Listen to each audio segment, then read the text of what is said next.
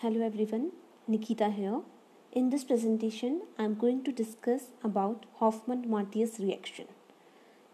This is a rearrangement reaction where the N-alkylated anilines are converted into ortho or para substituted anilines. In this reaction, acid, acid work as a catalyst and high temperatures are required to re, uh, to rearrange the alkyl group from the nitrogen to the carbon of the aryl ring. If the catalyst is replaced by the metal salt like HCl is replaced by the zinc chloride or aluminium chloride then this similar reaction is known as a Reilly-Hickinbottom rearrangement.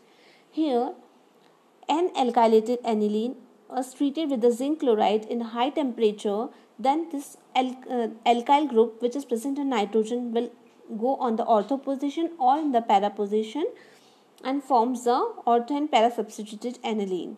In this reaction, para product is always a major product.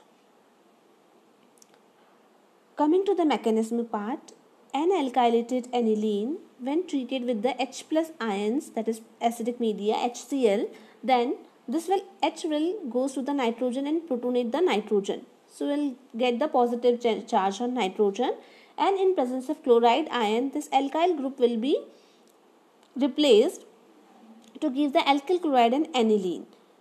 In the next step, this alkyl chloride ions can, uh, can attack on the aniline and can give the ortho and para product.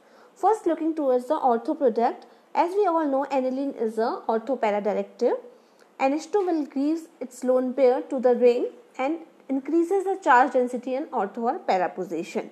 So, in presence of alkyl chloride, this aniline's nitrogen lone pair will goes to here and then on the ortho position. Due to the high charge density, this will attack on the R group and releases a Cl negative. So we'll get this type of species here. In uh, because it is not a completely aromatic ring, so now it will releases this H plus ion and generate the HCl again and will give the ortho substituted aniline.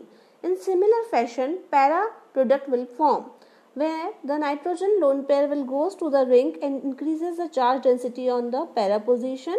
This negative charge, partial negative charge on para position will attack on the R group of RCl that is alkyl chloride and releases a Cl negative. So we'll get this species as an intermediate. Now this complex will releases the H plus ion back to give the aromaticity to the ring and we will get the para substituted aniline as a product. This reaction is applicable to synthesize the aniline uh, sub, al alkyl substituted anilines in different reactions. Here we have taken one example where we uh, our initial reactant substance is phenyl trimethyl ammonium chloride. This when this is treated with the uh, high temperature condition because already this is a ammonium chloride salt. So in presence of uh, heat heat condition this ch3 will goes to the para position and will get this product. 1 methyl is rearranging itself to generate the amines.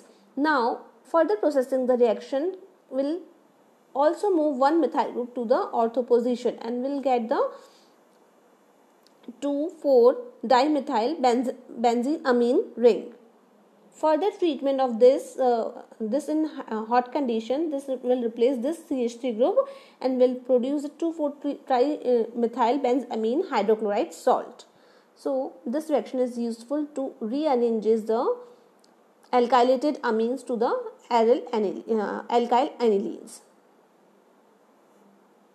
thank you